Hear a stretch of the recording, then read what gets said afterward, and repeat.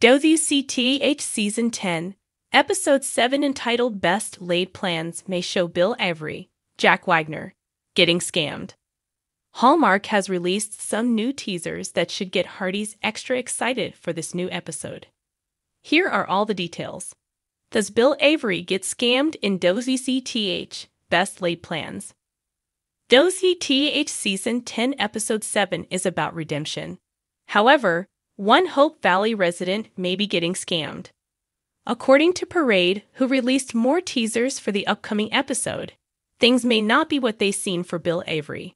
In this episode, Bill sells his land to Madeline Street John, Stefanie von Pfetten. Now he wants to make sure that the attractive widow and her son, Jamie, John J.G. Miller, are happily settled. Although Bill may be whistling as he works to make his homestead more comfortable, he may want to watch his back. Is this property for someone else?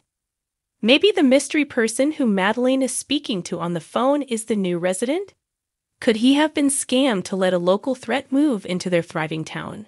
A familiar face returns to Hope Valley. There are other serious concerns in the upcoming WCTH episode entitled Best Laid Plans. Molly's, Johannah Newmarch, daughter Rosaline Sullivan, Mamie Laverock, is back in Hope Valley.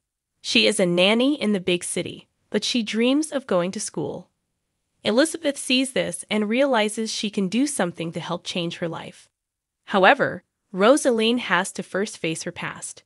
She sees Henry, Martin Cummins, and remembers his role in her father's death. Although Molly tries to get her to understand that Henry has changed, only Henry will be able to change her mind. As for her school, Lucas, Chris McNally secretly helps her get her wish, but he won't say who the benefactor is, except it is not him. Meanwhile, Lucas has a surprise for the townspeople. But can he get this new form of communication to work? Dozy T. Gage, Dr. Carter faces sexist patient. Dr. Faith Carter, Andrea Brooks, has plenty on her hands as the Hope Valley doctor. However, in the upcoming WCT episode, she has to also deal with a patient who is not keen on a woman doctor treating him.